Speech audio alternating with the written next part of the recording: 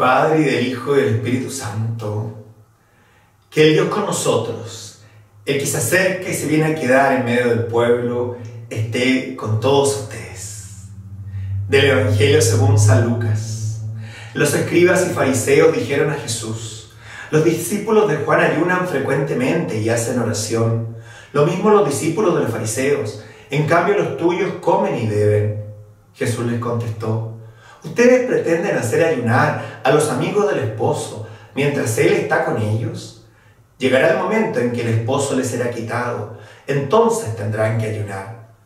Les hizo además esta comparación. Nadie corta un pedazo de vestido nuevo para remendar uno viejo, porque se romperá el nuevo y el pedazo sacado de éste no quedará bien en el vestido viejo.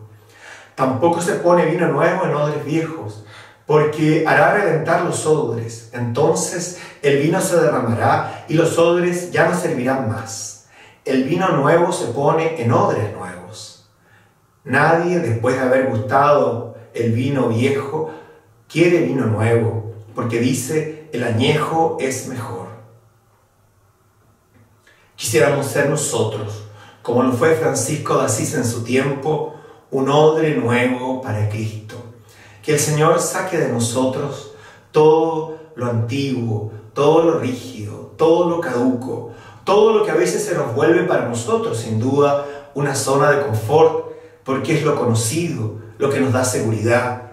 Que nos arriesguemos a hacer para ese vino mejor un odre nuevo, un recipiente que al modo de Francisco y al modo de María la Virgen pueda dejarse recrear y modelar por las manos del único alfarero.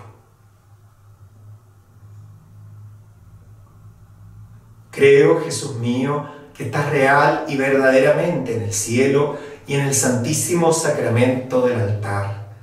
Te amo por sobre todas las cosas y deseo vivamente recibirte dentro de mi alma.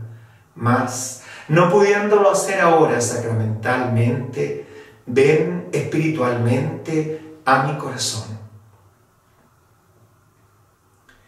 Y como si ya te hubiese recibido, te abrazo y me uno del todo a ti.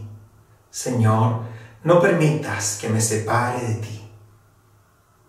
Llamados a ser odres nuevos, les bendiga aquel que es Padre, Hijo y Espíritu Santo.